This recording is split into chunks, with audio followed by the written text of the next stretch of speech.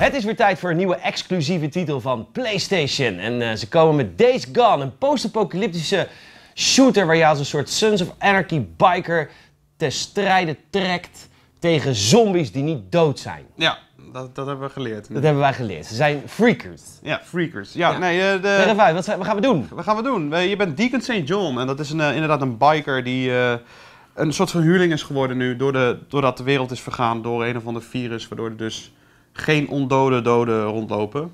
Maar ze zijn ook niet heel intelligent. Nee, ze zijn ook niet heel slim. Nee. Nee, dat valt ook een beetje tegen. En ehm, in principe ben jij een huurling die tussen kampen door allemaal opdrachten gaat vervullen. En ondertussen ga je daar ook natuurlijk achter komen hoe en wat al er gebeurd is met, eh, met, de, met de zombies. Nee, niet de zombies. Met de freakers.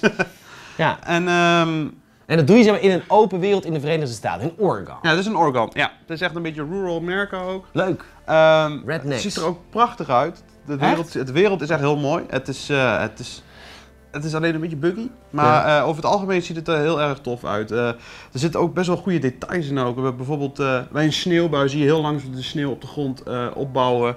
En als het regent dan zijn je paden zijn heel modderig geworden. Je, je merkt ook gewoon dat er modder onder de wielen vandaan komen. Dus dat is wel heel erg to- toffe kleine details. Maar Ja. ik had liever gezien dat ze wat meer details hadden gestopt in...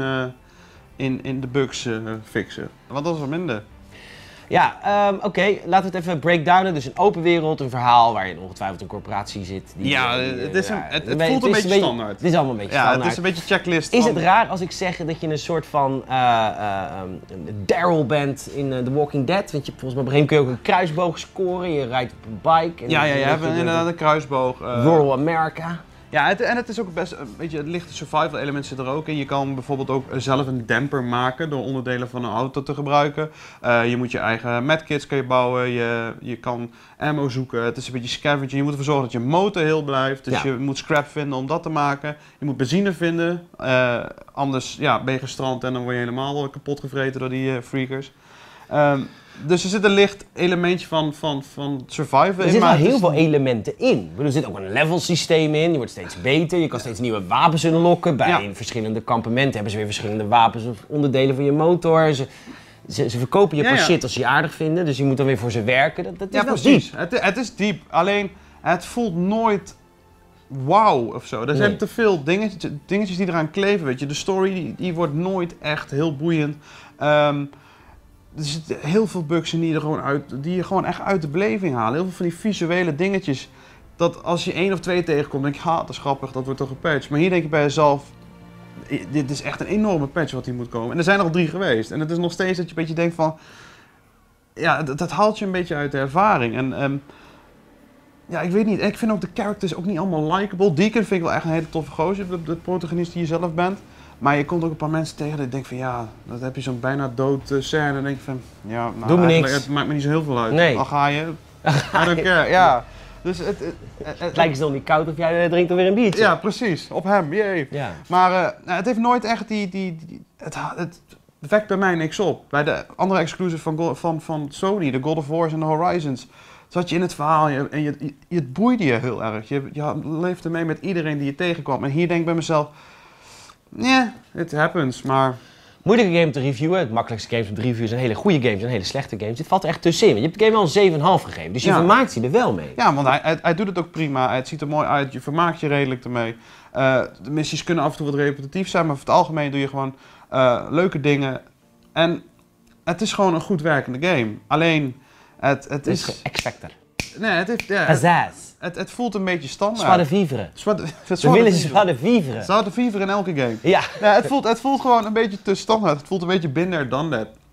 En, en dat is gewoon jammer. En eh, ik had ook ietsje meer van verwacht. Ook die trailer, de eerste trailer waar we allebei dachten van dit wordt heel vet. Met die groepen die, die, die hek omverduwen als jij er onderdoor slide. Dat soort dingen. Dat zit er eigenlijk bijna niet in. Ja, de, beelden, nog- de beelden die je dus nu ziet, zitten er dus niet in. Nee, dus die, die hele groepen, die kom je wel tegen. En dat is ook eng zat hoor. Als je achter je kijkt en je ziet 100 tot 200 van die dingen achter je aan rennen. Dat is heel vet. Maar die, die, die unieke gameplay, gameplay elementen, die mist Days Gone heel erg. Het is allemaal geplukt en gejat van verschillende games.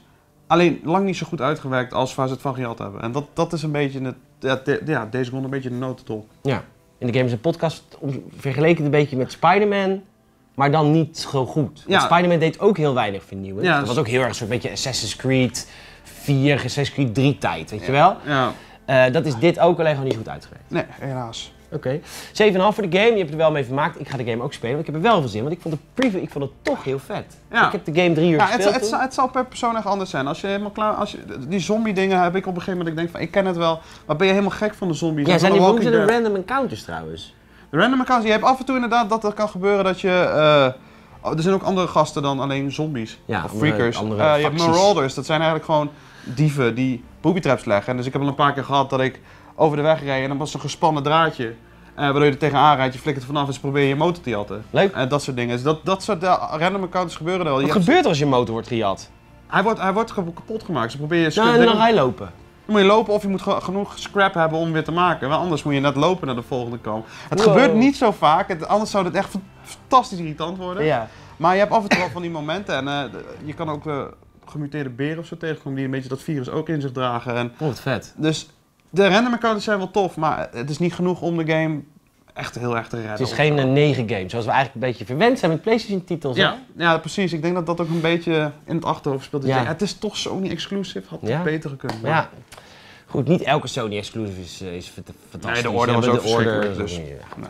Maar goed, dit is niet verschrikkelijk. Nee, dit is wel oké. Maar wel oké. Nou oké, duidelijk verhaal. Days Gone, hij is, eh, hij is nu verkrijgbaar bij, eh, bij de verschillende retailers. En je kunt hem bij ons ook nog winnen. Ga dan voor naar gamesnet.nl slash nieuwsbrief. Word lid van de Gamesnet Weekly. En eh, daar geven wij eh, één exemplaar van Days Gone weg. En dan krijg je elke vrijdag al het laatste nieuws in je mailbox. Hoe makkelijk is dat? Dankjewel Amador. Nou, dankjewel Peter. En jullie bedankt, jij bedankt voor het kijken. En tot de volgende Gamesnet Review.